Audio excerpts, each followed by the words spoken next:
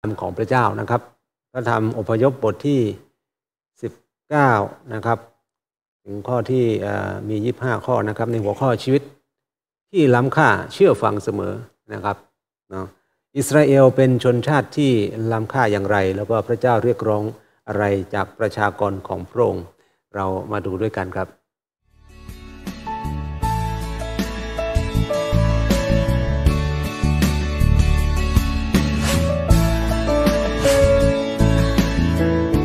อ่านแล้วคิดชีวิตเปลี่ยนอ่านแล้วทำตามชีวิตไม่ย่ำอยู่กับที่นะครับ พี่น้องอ่านแล้วคิดไข้ควรแล้วก็เอาไปทำชีวิตดีขึ้นชีวิตสูงขึ้น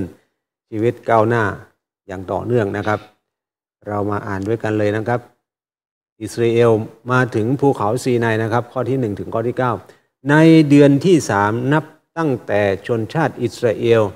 ออกจากแผ่นดินอียิปต์ในวันนั้นพวกเขามาถึงถิ่นทุรกันดารซีนาย เมื่อเคลื่อนออกจากเรฟิดีมมาถึงถิ่นทุรกันดารซีไนพวกเขาก็ตั้งค่ายอยู่ในถิ่นทุรกันดารคนอิสราเอลตั้งค่ายอยู่ที่นั่นหน้าภูเขานั้น โมเสสขึ้นไปเข้าเฝ้าพระเจ้า พระยาเวตรัสกับท่านจากภูเขานั้นว่า จงบอกวงวันยาโคบและอิสราเอลดังนี้ว่า พวกเจ้าได้เห็นสิ่งที่เราทำกับคนอียิปต์แล้ว และที่เราชูพวกเจ้าขึ้นดุดดัง ด้วยปีกนกอินทรีเพื่อนำพวกเจ้ามาถึงเรา ฉะนั้นพวกเจ้า ฟังเสียงเราจริง ๆ และรักษาพันธสัญญาของเราไว้ พวกเจ้าจะเป็นของล้ำค่า ของเราที่เราเลือกสรรจากท่ามกลางชนชาติทั้งปวง เพราะแผ่นดินทั้งสิ้นเป็นของเรา พวกเจ้าจะเป็นอาณาจักรปุโรหิต และเป็นชนชาติบริสุทธิ์สำหรับเรา นี่เป็นถ้อยคำที่เจ้าต้องบอกกับคนอิสราเอล โมเสสจึงมาเรียกประชุมพวกผู้ใหญ่ของประชาชน แล้วประกาศข้อความทั้งหมดนี้ต่อหน้าพวกเขาตามที่พระยาเวทรงบัญชาท่าน ประชาชนทั้งสิ้นก็ตอบพร้อมกันว่าทุกอย่างที่พระยาเวตรัสนั้น พวกข้าพเจ้าจะทำตาม โมเสสจึงนำคำของ ประชาชนกลับไปกราบทูลพระยาเว พระยาเวตรัสกับโมเสสว่านี่แน่เราจะมาหาเจ้าในเมฆหนาทึบ เพื่อประชาชนจะได้ยินขณะที่เราพูดกับเจ้า แล้วจะได้เชื่อฟังขออภัยจะได้เชื่อถือเจ้าเสมอ เมื่อโมเสสนำถ้อยคำของประชาชนไปกราบทูลพระยาเวพี่น้องครับในการอพยพของชนชาติอิสราเอลมาถึงภูเขาซีนาย นะหรือภูเขาโฮเรบนั่นเองนะครับ ก็มาอยู่ตรงนี้เขาก็ตั้งค่ายที่นั่นนะครับ เป็นถิ่นธุรกันดารที่พวกเขาจะพบจะเข้าเฝ้าพระเจ้าจะพบพระเจ้านะครับเนาะเป็นสถานที่ทางศาสนาที่สำคัญแห่งหนึ่งในประสาทอิสราเอลนะพี่น้องครับพวกเขานี้ตั้งอยู่กลางตอนใต้ของแหลมซีนายแล้วก็เป็นที่ที่พระเจ้าทรงปรากฏ กับโมเสสนะที่พุ่มไม้นะที่ลุกเป็นไฟก็คือตรงภูเขานี้แหละนะครับ เป็นที่ที่พระเจ้าทรงทำพระสัญญากับอิสราเอล และเป็นที่ที่เอลียาได้ยินเสียงกระซิบอันอ่อนโยนของพระเจ้านะพระเจ้าประทานบัญญัติแล้วก็แนวทางการดำเนินชีวิตที่ถูกต้องแก่ประชากรของพระองค์ที่ภูเขานี้นะพวกเขาเรียกพวกเขาเรียนรู้ที่จะเชื่อฟังนะนำมาซึ่งพระพรแล้วก็ ถ้าไม่เชื่อฟังก็จะนำมาซึ่งคำสับแช่งเป็นผลลัพธ์อันน่าเศร้านะครับพระธรรมของพระเจ้า ให้เราได้เห็นว่าพระเจ้าทรงทอดพระเนตรประชากรของพระองค์ที่เชื่อฟัง ตั้งแต่อยู่ในอียิปต์นะพระองค์ทรงเรียกเขาออกจากอียิปต์เขาก็เชื่อฟังแล้วก็เดินตามพระเจ้า พระเจ้าทรงนำชีวิตของเขาจนมาถึง ภูเขาซีนายพี่น้องครับ พระเจ้าทรงเรียกเราเลือกเราออกจากความมืดออกจากอำนาจของความบาปสิ่งชั่วร้าย เราได้ตอบสนองเสียงเรียกของพระองค์เราได้เข้ามาอยู่ในแผ่นดินของพระองค์ในการครอบครองของพระองค์ในเวลานี้พี่น้องนี่คือสิ่งที่พระเจ้ากำลังตัดกับพวกเราว่าเราเป็นประชากรที่เชื่อฟังพระองค์เอเมนนะครับ แล้วก็พระคำของพระเจ้าบอกว่า พระองค์ทรงให้ชีวิตที่เชื่อฟังพระองค์เนี่ยเป็นของล้ำค่า ในข้อที่ห้าพวกเจ้านะถ้าพวกเจ้าฟังเสียงเราจริง ๆ ฉะนั้นถ้าพวกเจ้าเราฟังเสียงจริง ๆ รักษาพันธสัญญาของเราไว้ พวกเจ้าจะเป็นของล้ำค่า ที่พระเจ้าทรงเลือกในวันนี้เราถูกเลือกจากคนจำนวนมากมายประชากรมากมาย มาอยู่ในการครอบครองของพระองค์เป็นประชากรที่เชื่อฟัง พระองค์ทรงตรัสว่าเราเป็นชีวิตที่ล้ำค่าสำหรับพระองค์งั้นในเวลานี้ไม่ว่าคนรอบข้างคนอื่นๆเขาจะมองชีวิตของเรา มีค่าต่ำหรือมีค่าไม่สูงหรือมีค่าอย่างไรก็แล้วแต่ แต่สำหรับพระเจ้าพระเจ้าทรงมองชีวิตของเราว่าเป็นชีวิตที่ล้ำค่าเอเมนไหมครับฉะนั้นขอให้เราได้ให้ค่ากับตัวเราเอง ขอให้เราได้ดำเนินชีวิตอย่างมีคุณค่าในสายพระเนตรของพระเจ้า และมองคนอื่นๆนะว่าเป็นคนที่พระเจ้าทรงให้คุณค่ากับชีวิตของเขา และพระองค์ประสงค์ที่จะเรียกแล้วก็เลือกเขาให้มาอยู่ในทางของพระองค์ เราจะให้ค่าให้ความสำคัญของชีวิตทุกชีวิต พระเยซูคริสต์มาสิ้นพระชนที่ไม้กางเขนเพื่อจ่ายนะค่าชีวิตของเรา พระองค์ทรงให้ชีวิตของพระองค์ สิ้นพระชนที่ไม้กางเขนพระองค์ทรงยอมตายเพื่อชีวิตของเรา แสดงว่าชีวิตของเรามีค่าสำหรับพระองค์ดังนั้นพระเจ้าทรงซื้อเราด้วยราคาแพงในวันนี้เราอย่าดูถูกดูหมิ่นชีวิตของเราเราอย่าด้อยค่าชีวิตของเรา เราเป็นคนที่มีค่าในสายพระเนตรของพระเจ้าอยู่เสมอ ไม่ว่าจะเป็นคำพูด การกระทำ จุดหมายเป้าหมายการรับใช้ของเรา การนำความสามารถของประธานที่พระเจ้าให้กับเรา ถวายอุทิศรับใช้พระองค์ล้วนแล้วแต่เป็นสิ่งล้ำค่าเป็นสิ่งที่มีค่าในสายพระเนตรของพระเจ้าอยู่เสมอ ไม่ว่าจะเป็นการรับใช้เล็ก ๆ น้อยๆไม่ว่าจะเป็นการปรนิบัติพระองค์ เราคนรอบข้างมนุษย์อาจจะมองว่าไม่สำคัญ แต่พระเจ้ามองว่าเป็นงานรับใช้ที่สำคัญเมื่อเราให้กับพระองค์ด้วยชีวิตที่อุทิศถวาย ไม่ว่าชีวิตของเรานะจะเป็นอย่างไร ถ้าเราให้กับพระองค์เชื่อฟังพระองค์พระองค์มอง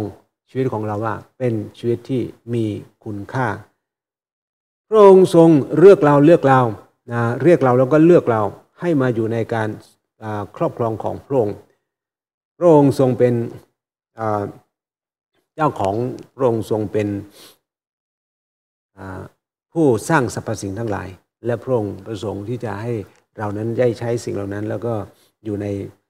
พระประสงค์ของพระองค์ทุกสิ่งทุกอย่างเป็นของพระองค์และเมื่อเราอยู่ในพระองค์ก็สิ่งเหล่านั้นก็จะอยู่ในการดูแลครอบครองของเรา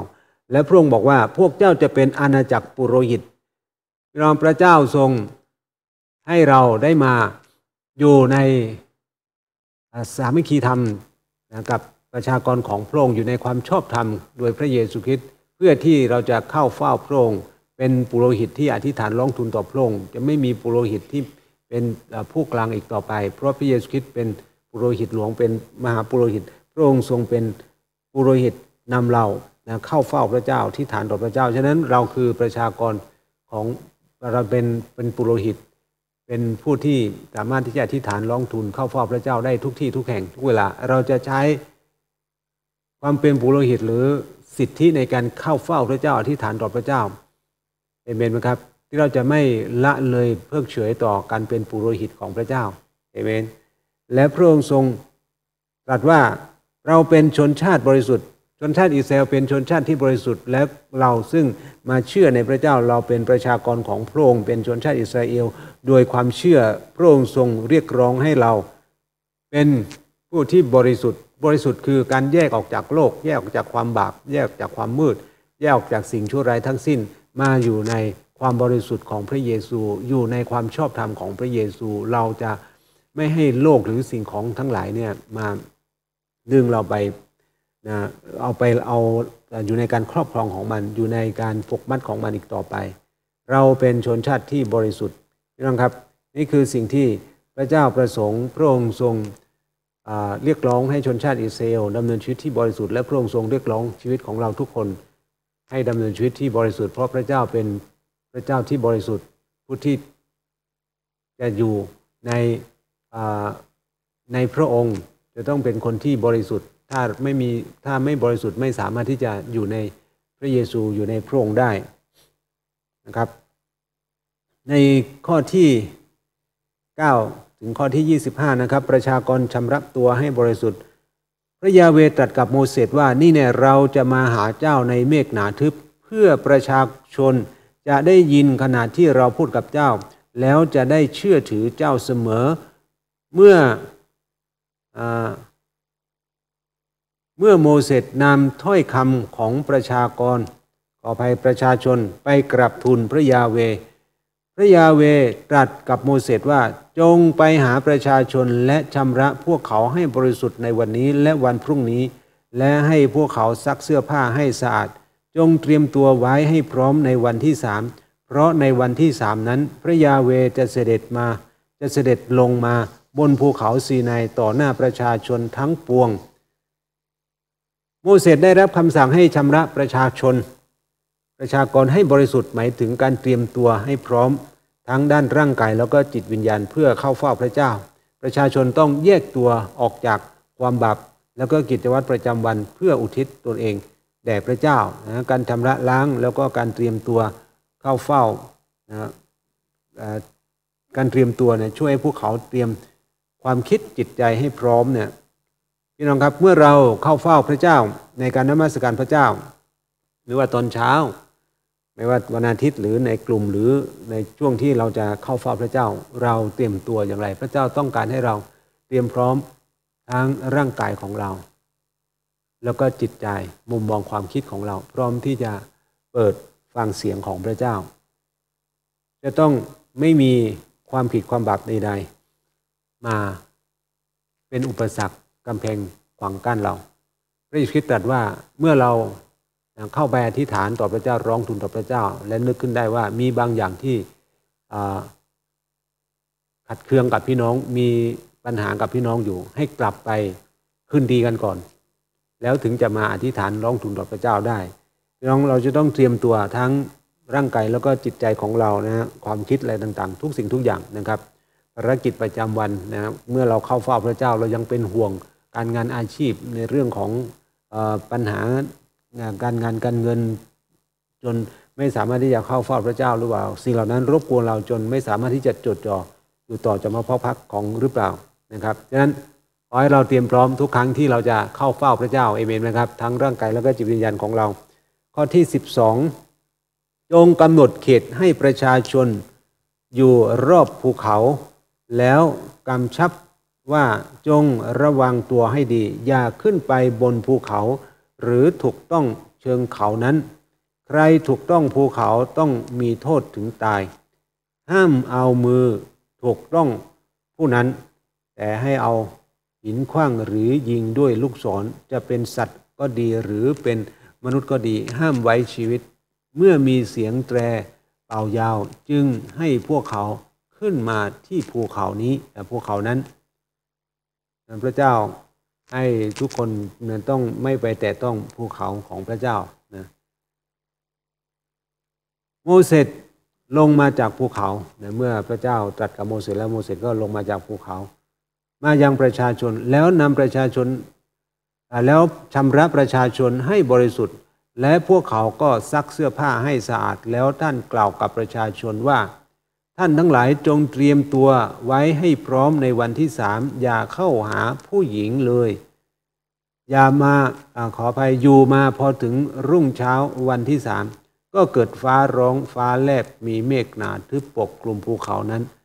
กับมีเสียงแตรดังสนั่นจนประชาชนทุกคนในค่ายพากันกลัวจนตัวสัน่น โมเสสก็นำประชาชนออกจากค่าย ไปเข้าเฝ้าพระเจ้า พวกเขามายืนอยู่ที่ตินเขาภูเขาซีนายมีควันหุ้มอยู่ทั้งหมด เพราะพระยาเวเสด็จลงมาบนภูเขานั้นในเพลิงและควันก็พุ่งขึ้นเหมือนควันจากเตาเผาภูเขาทั้งลูกก็สั่นสะเทือนอย่างรุนแรง เมื่อเสียงแตรยิ่งดังขึ้นโมเสสก็กราบทูลแล้วพระเจ้าตรัสตอบเป็นเสียงฟ้าร้อง ระยาเวเสด็จลงมาบนภูเขาซีไนพระยาเวทรงเรียกโมเสสให้ขึ้นไป บนยอดเขาโมเสสก็ขึ้นไป พระยาเวตรัสสั่งโมเสสว่าเจ้าจงลงไปกำชับประชาชน ไม่ให้ล่วงล้ำเข้ามาเพื่อดูพระยาเว แล้วต้องพินาศไปเป็นจำนวนมาก อันหนึ่งพวกปุโรหิตที่เข้ามา เข้าเฝ้าพระยาเวนั้น ให้พวกเขาชำระตัวให้บริสุทธิ์ ด้วยเกรงว่าพระยาเวจะทรงลงโทษพวกเขา โมเสสกราบทูลพระยาเวว่า ประชาชนขึ้นมาบนภูเขาสีไหนไม่ได้ เพราะพระองค์ทรงบัญชาพวกข้าพระองค์ว่าจงกั้นเขตรอบภูเขานั้นและชำระให้เป็นที่บริสุทธิ์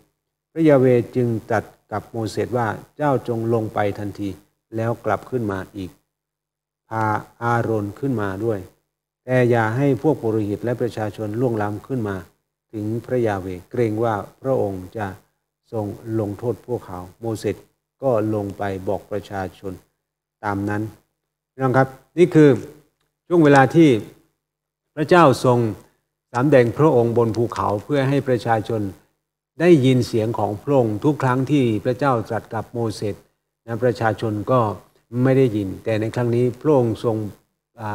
ประสงค์ที่จะให้ประชาชนของพระองค์ประชากรของพระองค์ได้เห็นถึงความยิ่งใหญ่ของพระองค์ได้เห็นถึงฤทธิอำนาจของพระองค์พี่น้องพระเจ้าประสงค์ที่จะให้เราได้พบกับพระองค์แต่สิ่งที่สำคัญที่สุดในชีวิตของเราก็คือชีวิตที่บริสุทธิ์ ชีวิตที่ปราศจากมลทิน เพราะถ้าเรามีชีวิตที่ไม่บริสุทธิ์ต่อจำพาะพระพักของพระเจ้า เราไม่สามารถที่จะพบพระเจ้าได้เลย แล้วก็เป็นชีวิตที่อันตราย ถ้าเราไม่แยกตัวออกจากความผิดความบาปไม่ได้ทิ้งความบาปกลับใจนะชีวิตของเราก็จะไปสู่ความพินาศจะไปสู่นะหายนะนั้นพระเจ้าประสงค์ที่จะให้ชีวิตของเรานั้นได้เข้าเฝ้าแล้วก็ได้พบพระองค์ เพื่อที่เราจะได้รู้ว่าพระเจ้าที่ทรงเรียกเราเลือกเราให้มาอยู่ในทางของพระองค์นั้น เป็นพระเจ้าผู้ทรงฤทธานุภาพและพระองค์ทรงเป็นพระเจ้าผู้ทรง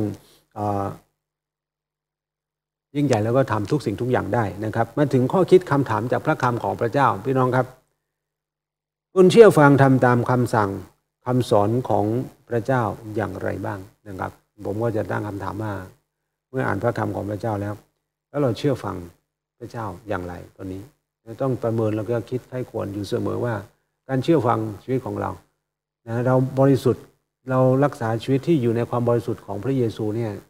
อย่างไรแล้วในเวลานี้ เราแยกตัวออกจากโลกจากความมืดจากความผิดความบาปแล้วอย่างไรบ้างเรื่องนี้นะความคิดของเรามุมมองของเราทัศนคติของเรานะเป็นอย่างไรบ้างในวันนี้พี่น้องครับแล้วชีวิตของเราได้มีสันติสุข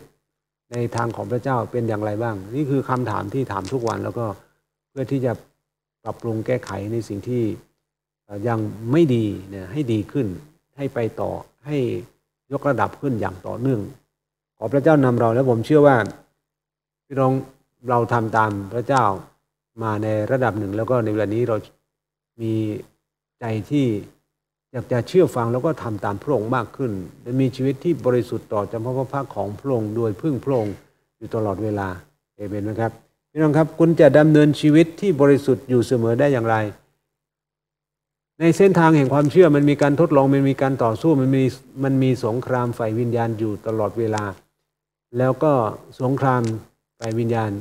มันต้องการให้เราพ่ายแพ้ แล้วก็ล้มลงในความบาปในความไม่บริสุทธิ์เป็นมลทิน นี่คือเป้าหมายในการต่อสู้ในสงครามฝ่ายวิญญาณ แต่เราจะรักษาชีวิตที่บริสุทธิ์อยู่เสมอ ได้ก็ต่อเมื่อเราพึ่งพระวิญญาณบริสุทธิ์แล้วก็ก้าวเดินอ่านพระคำของพระองค์ใคร่ควร แล้วก็ระมัดระวังที่จะทำตาม อยู่เสมอ เราก็จะรักษาชีวิตที่บริสุทธิ์ต่อตบพระพักของพระเจ้า ทุกเมื่อทุกครั้งที่เราเข้าเฝ้าพระเจ้า จะไม่มีสิ่งหนึ่งสิ่งใดเลยที่เป็นอุปสรรค จะไม่มีมลทินบาปมาเป็นกำแพงกั้นการเข้าเฝ้าของเราได้เลยเอเมนไหมครับเราสามารถที่จะอธิษฐานต่อพระเจ้า ทุกครั้งทุกเมื่อเมื่อเราต้องการที่จะเข้าเฝ้าแล้วก็อธิษฐานในขณะที่เราทำงานในขณะที่เราเดินทางในขณะที่ทำทำสิ่งหนึ่งสิ่งใด ชีวิตต้องบริสุทธิ์อยู่เสมอ เพื่อที่จะเข้าเฝ้าพระเจ้าได้เสมอในทุกเวลา ที่ฐานต่อพระเจ้าได้ทุกเวลา ข้อที่สามจะเชิญชวนคนรอบข้างให้มาถึงการทรงเลือกของพระเจ้าได้อย่างไรพี่น้องครับเราต้องการเห็นพี่น้องคนรอบข้างเรา